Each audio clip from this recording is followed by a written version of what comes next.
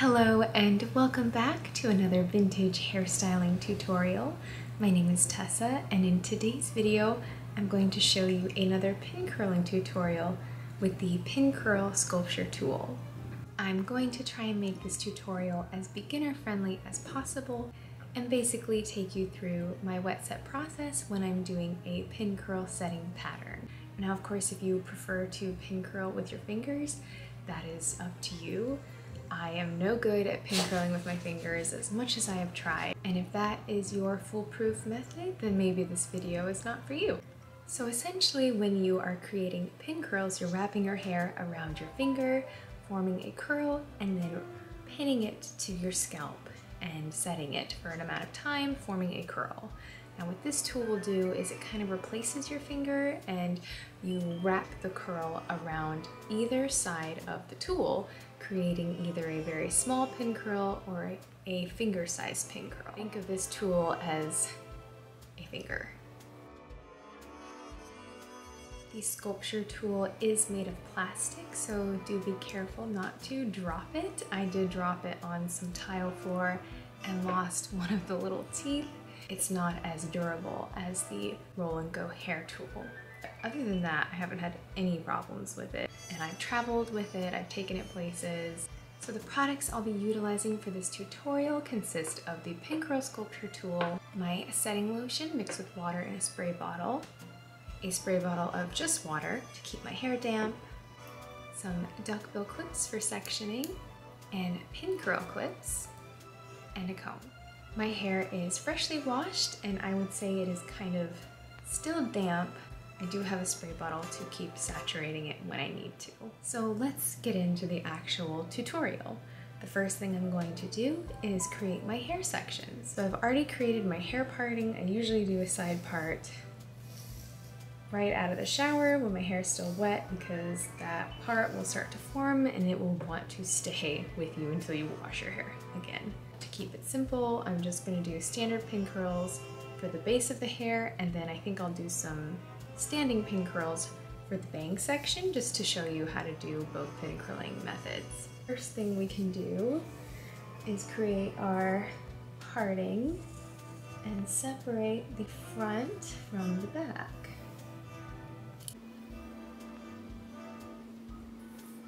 So now I've made my ear to ear part and we can tie back this super large section it's going to be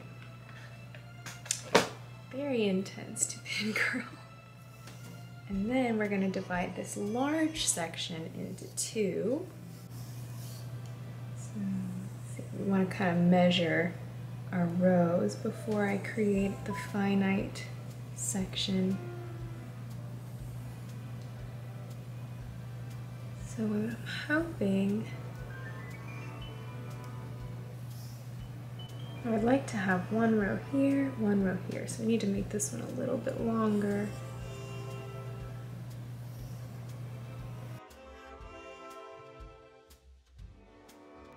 These are kind of the easiest sections to start with. And let's divide it in two.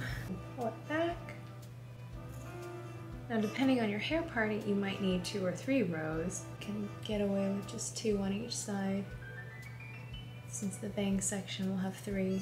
So you're gonna wanna make a square. It can be at an angle, it doesn't have to be completely perpendicular to your face. Now my hair is kind of dried, so I'm gonna spray it with some water, and then I'm gonna spray it with my setting lotion, comb it all through. grab the tool and I'm using the large end. And my hair is quite long now since the last time I used it but I should still be able to use it. Just make sure that end is folded in and hidden nicely you can kind of stick your thumb in there and grab with your nails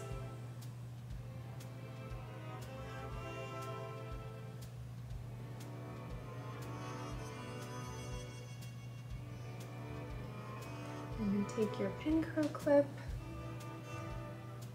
and find a good place to dig in there. There you go. Oh, you just have to do that like 50 more times. If you're using bobby pins instead of duckbill clips, you can use two bobby pins per pin curl in a crisscross shape. If your hair is shorter, you may want to use the smaller side of the tool, especially in these front baby hair sections. And what you want to avoid is these little, little pieces trying to come out. So you can always try and use the smaller side if you're having a hard time getting those little baby hairs in there. But it will make a tighter curl.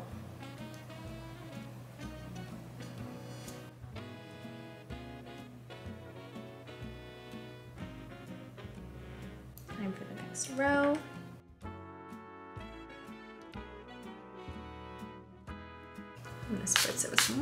Just the end there. My ends are starting to dry. Then the setting lotion. I always like to comb it through after I apply the setting lotion and make the hair strands as flat like a ribbon.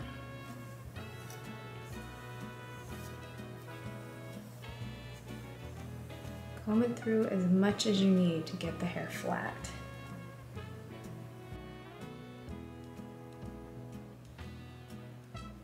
Those ends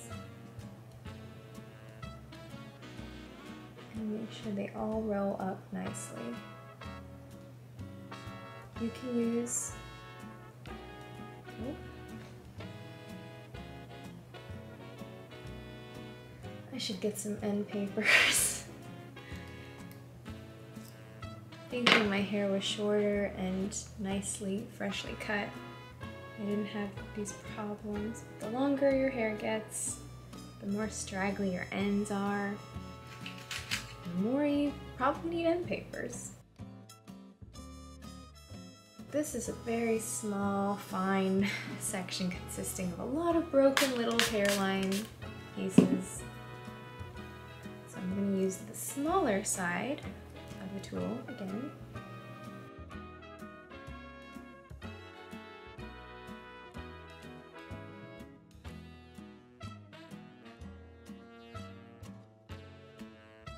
Now we have our first section complete and we can do the same process. On the other side, I'm not gonna film it, it's the same thing. So now we can work on this bang section.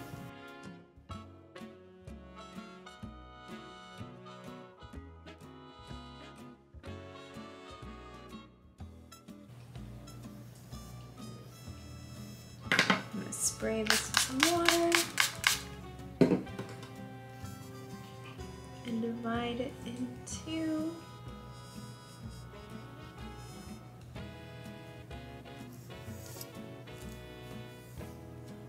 We're gonna comb it straight up.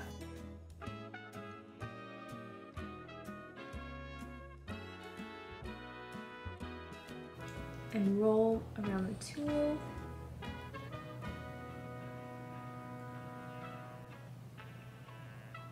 I like to roll back and then I start turning it at the end.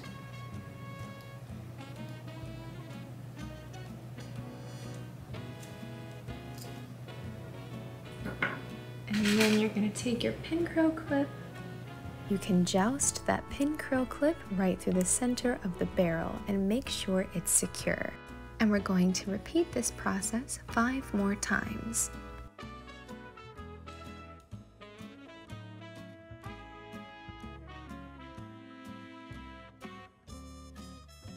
For the bang section, I find it's easiest to work back to front, working in rows and keeping all of those sections even. Today I'm doing three rows for the bang section with a total of six standing pin curls. The pin curls are rolled back and away from the hair parting and secured in the middle with the duckbill clip. I'm using the large side of the tool to form these pin curls. If you're using bobby pins instead of duckbill clips, you may want to try using two bobby pins for a stronger hold. You can place them right through the center, just like the duckbill clips. If you're having trouble securing your curl with your clip or bobby pin, try making your section a little bit smaller. If your curl is too thick, the clip is not going to hold and it may fall out. So now the front section is done, the bangs all in standing pin curls, and the side sections are done. So now we can move on to the back.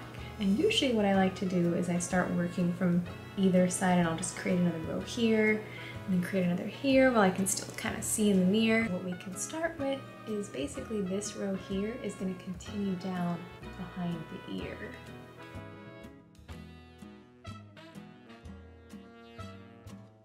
A technique that I find very helpful in setting hair is utilizing rows, whether they're horizontal or vertical.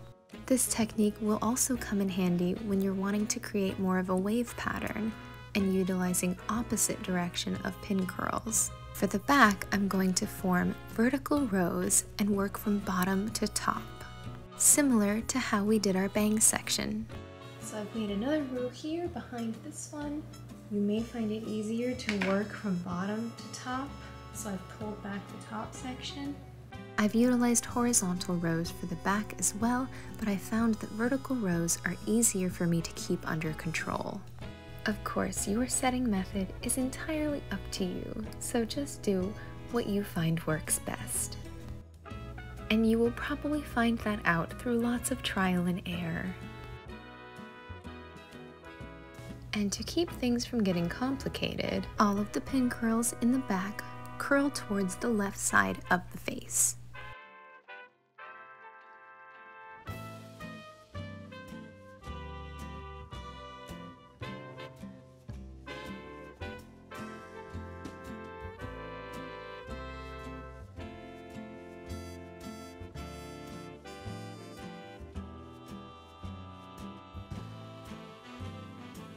Section I saved for last is the rest of what would be the bang section, but instead of doing stand-up pin curls there, I'm just gonna do the flat ones.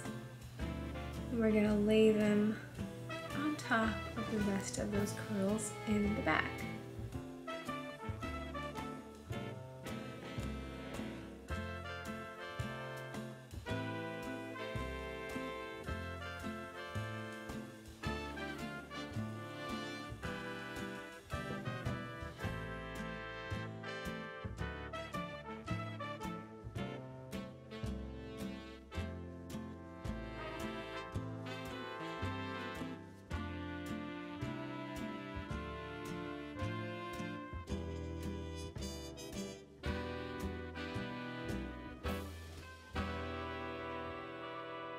Now that we have all of these pin curls in our head, we can check to make sure there aren't any wonky ones.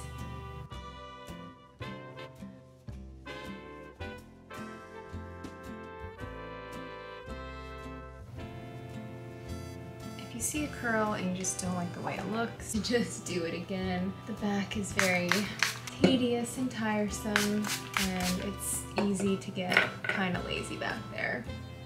Honestly, my suggestion to you if you are new to pin curling or you just don't want to spend as much time on it, pin curl the front of your hair, like those front few sections we did, and then just do your rollers in the back. So sometimes you might have to go back and create smaller sections. With this tool, smaller is going to be better than bigger especially with the long hair, you're gonna roll it up so many times on top of itself that the curl can become so dense that the pin curl clip won't even fit over it.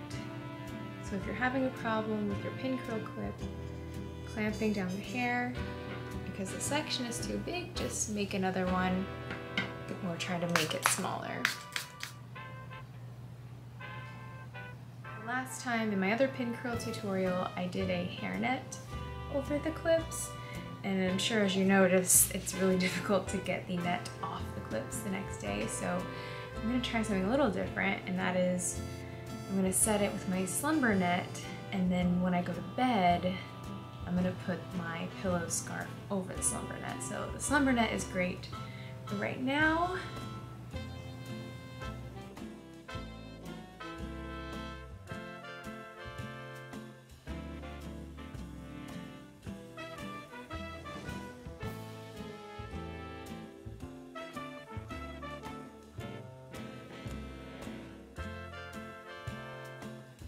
let the hair set overnight and we will see how it turns out tomorrow for the brush out.